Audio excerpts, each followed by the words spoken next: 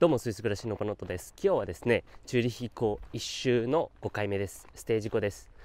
今日はここですねペフィコンまあシュイツ州のペフィコンというところからサントガレン州のシュメリコンまで行きます。距離はですねあのチューリヒ港一周の一番長い距離になっているんですよ。長いステージになっていて23キロ。想定時間6時間です。でもですねあの高低差があんまりないっていうか、まあ、前回よりは楽かなと思います。高低差はまあ400メートルぐらいですね。途中でブレヒペルっていうところかな。ちょっとあの森山みたいな感じになっていてまあそれも楽しみです。そしてですねまああのご覧の通りですね。天気が良くてですね今日。あの久々に天気がいい日があるから今日来てます。そして暖かくなってきたんですよ。あの春が近づいているので、まあ、ちょっとですね朝はまだ寒いんですが、まあ、気持ちのいい朝になっています。午後になるとですね多分寒くなるかなと思うんですが、まあ、今日6時間頑張りたいと思います。では今日春を探していきましょう。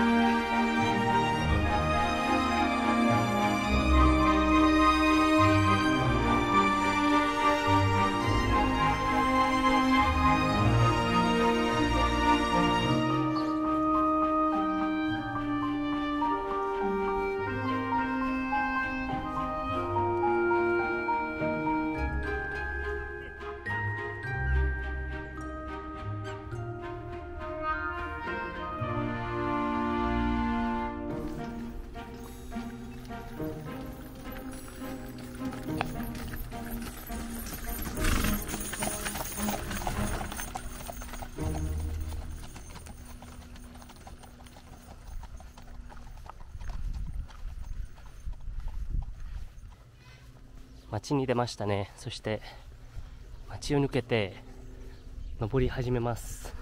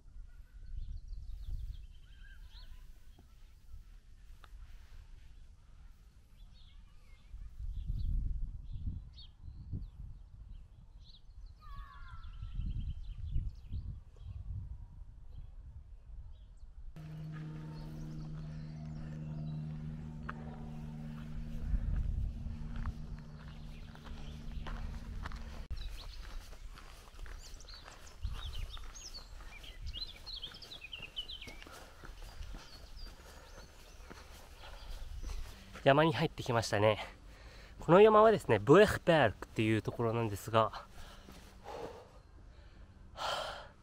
多分チュリヒコから200、300メートルぐらい高いですかね。あの、入ってきたばかりなんですが、かなり疲れました。もう3時間ぐらい経過しましたので、体力も結構ですね、あの、なくなってます。でもまあ半分ぐらいですかね。これを、この山を越えたら、そうですね、また湖沿いのとこに戻ってですね、そしてぐるっと湖の北側にですね行って湿り湖まで行きます。がそれまでですね山ですので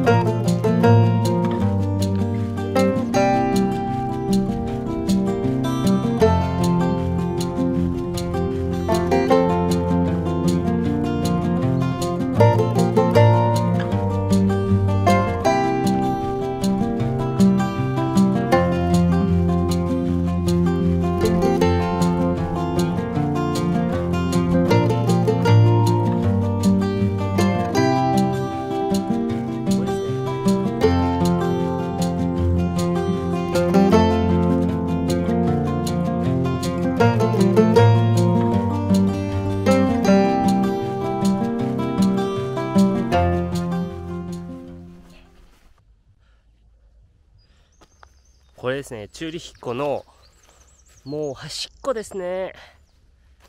でもまだ、まだまだ、まだちょっとですね。こちら行きます。はい。あと2時間ぐらいかな。今1時前なんですけれども、あと2時間ぐらいで、今だいたい6時間ですね。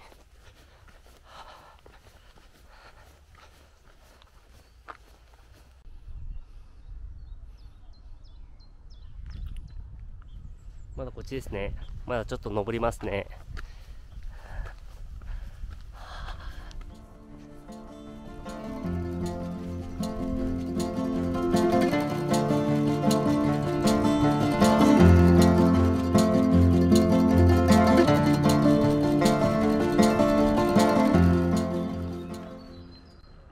こっちにもバンカーですね。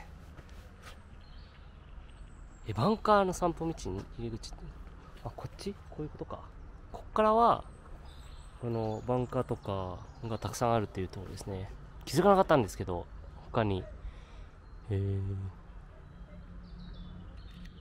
できたらこれもバンカーですね。えっとですね、さっきこちらから、こちらから降りてきました。はい、これですね。そして、今からこっちです。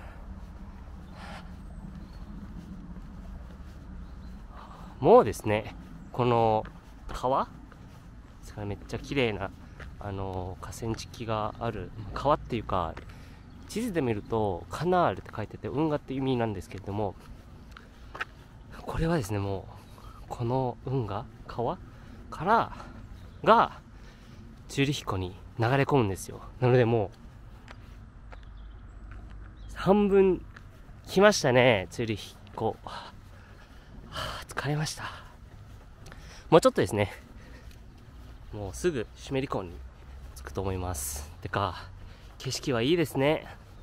チュリヒ市のチュリヒ湖の東の方ですね。まあ、その端っこの方は、まあ、めっちゃ山脈とかが多いので、こういうところですね。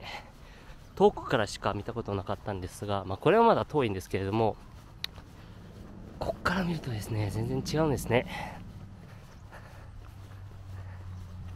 これはいいですね。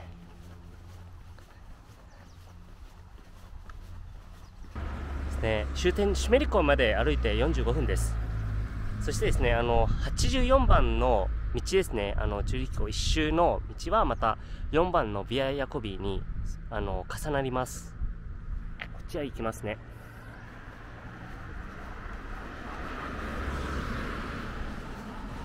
いいねいい橋。